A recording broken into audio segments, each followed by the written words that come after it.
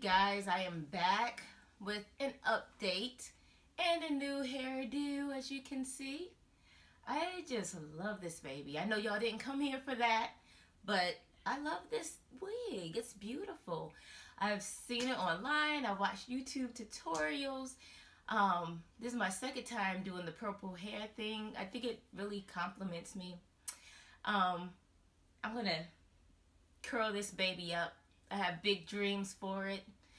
Uh, once again, I know y'all don't care, but uh, stay tuned. If you do care, stay tuned. I'll be posting a video all about this beautiful unit, um, as well as how it's going to look after I give it these big, beautiful curls that I'm dreaming of. Hopefully it works out for me. But to get to the real deal, the reason why most of you did click on this video is to give another update about the chemo. Okay, hands out the hair. Give another update about, well, chemo is in it, but about the breast cancer journey.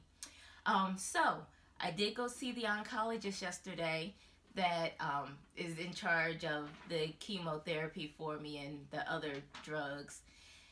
Um, and we scheduled for me to begin chemo on tomorrow, which is Thursday. But lo and behold, what we found in the imaging is that when I got my biopsy done, they did not leave a clip um, in the tumor.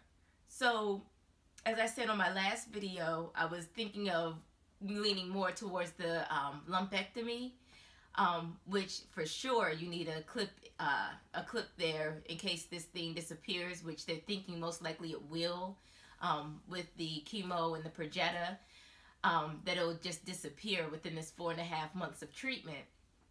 So if I get a lumpectomy and there's no clip to tell where the tumor was, then I mean, where they wouldn't know where to where to cut tissue at. They wouldn't have a clue of the area that they should cut the tissue from. Um, so lucky me, after that very painful biopsy, after being traumatized to the nth degree, now I have to go back and let someone fake, you know, do a do a fake numbing, I would say, of the area. But you know what? I'm not going back to the same hospital for this one. Uh, fool me once, shame on you. But guess what? You ain't going to get a second chance to fool me again. I'm going to a different facility, and I will let them know the experience that I had during my biopsy with the um, numbing that did not take effect.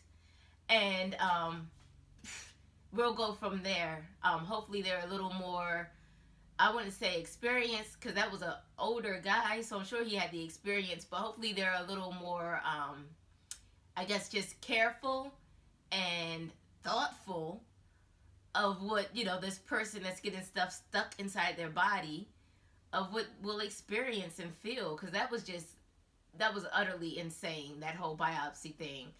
Um, but, yeah, so I have to go back through that, let them insert a clip into the tumor once the clip is inserted, then um, I can go on and have my chemo and get this thing rolling.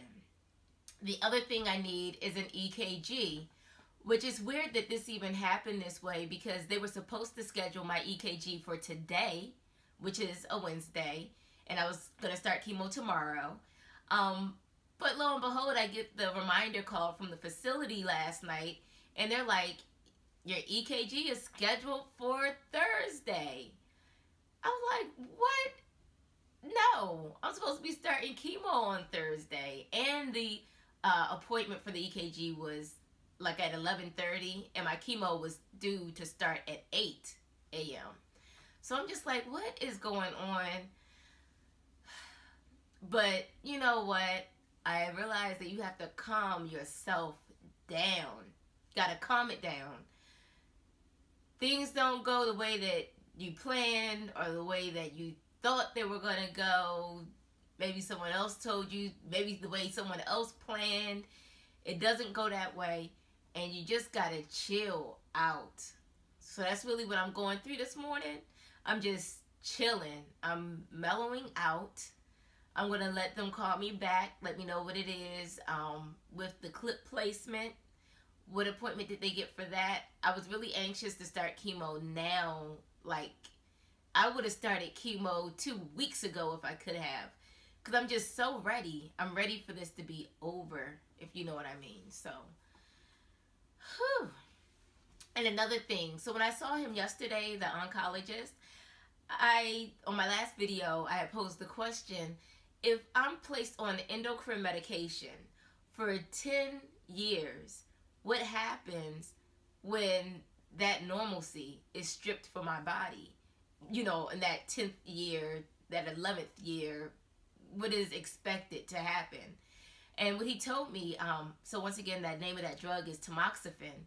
And what he told me is that basically the older I get, like the, I guess the less the body creates estrogen, um, as we all know, we've heard of like menopause and things like that. I won't be menopausal at um, in 10 years. I'll be, you know, still premenopausal. Um, but he just said as you age, those hormones do level off. So I guess this drug will like help me regulate these hormones for a good 10 years and um, then by the time I'm taken off of it my body should have kind of like decreased the um the this estrogen production on its own um so I guess that's the whole thought behind that so I'm glad he answered that because I was really kind of just like wondering what would be the point of even starting a drug if once you're taken off of it like you know, if it's not a lifelong drug and you're taking off of it and it wreaks havoc, that's what I was thinking. But his explanation made a lot of sense. Um, so that's honestly all I have for y'all today. I just came to show off my new do. I mean, ain't used to nothing. No, I'm I'm joking.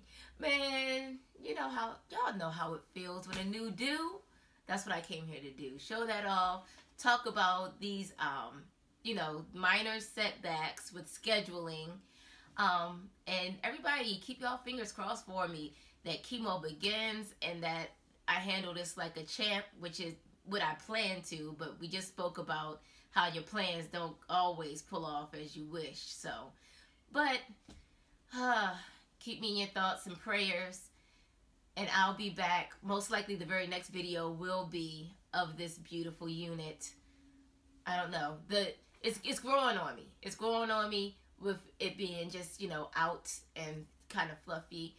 Um, but I did have dreams of putting these curls in. So I don't know when I'll get the curls in, but when I do, you guys will be the first to know.